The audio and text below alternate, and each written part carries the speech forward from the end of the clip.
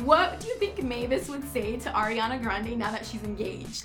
Would she approve? What would Mavis say? What would you say? Mavis, where are we going? A cruise? Ah, chicos, vamos a comenzar con la Macarena. Do you know it? Ready? Oh, right. Ready? Together. Oh gosh. Dale a tu cuerpo alegría, Macarena, que tu cuerpo es para darle alegría. ¡Eh, Macarena!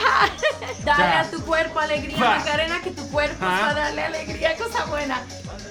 Macarena, y Johnny, estamos aquí eh, con esta tercera película. ¡Qué emoción! Obviously, music is like a huge element in this movie. What iconic song would you choose to defeat the evil Van Helsing if it wasn't La Macarena? Oh, I got a feeling Yeah? by Black Eyed Peas. Okay, yeah, that's a good one. That tonight's gonna be a good, good night. Andy, for good like you? da, da, da. Yeah, yeah, yeah. It's a good wedding song for sure. Um, Which one would you choose? Probably. Um. Um. Would you go with like a classic or maybe like a Selena song? Probably a Selena song. No. We'll go with like Wolves or something. Yeah, Wolves. I'll be running through the jungle. I'll be crying with the wolves to get to you. To get to you. To get to you. I, or Kanye Wolves. You know, both are good wolves. Thanks. Selena, tu audiencia hispana quiere saber cuándo va a suceder la colaboración con Maluma. I Everyone would wants love to. know. to. I would love to. I just, I don't know. For me, Okay. I'm very, uh, women are very important to me. So I will say that no matter what I do, I love to make sure that women are taken care of. So Okay. that's all I'll say. Okay. Because I want, I want to be so involved in that world. And is that hinting us that the new album will have female collabs? Probably. I mean, yeah, one maybe. Do we know the title of that yet? I do, but I can't tell you. Ah, it's- well, and hopefully everyone's waiting for a Spanish album. Hopefully one yeah, day. there'll be a few. There'll be a few. There'll be a few songs, chicos, canciones en español. In this movie, you start off as evil, but then you start sort of falling for Drac. You guys have this first date. Something very embarrassing happens on that first date. The food here is to die for.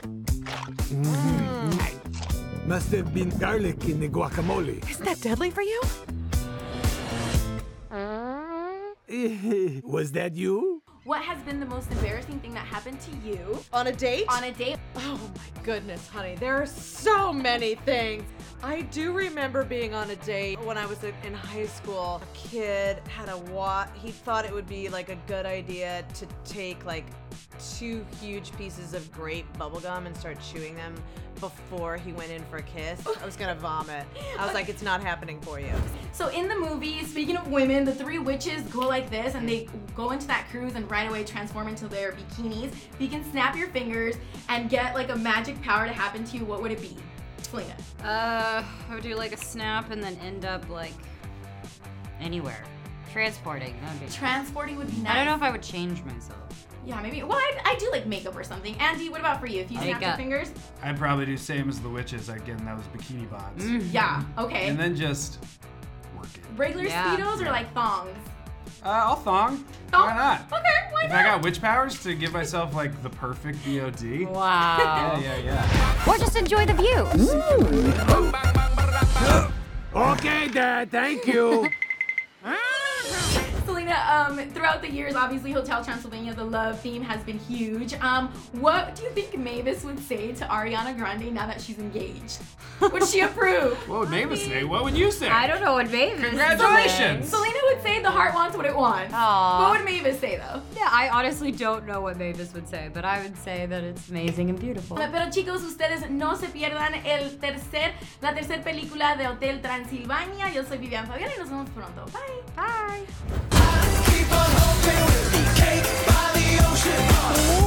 Oh no, Blobby's gonna puke.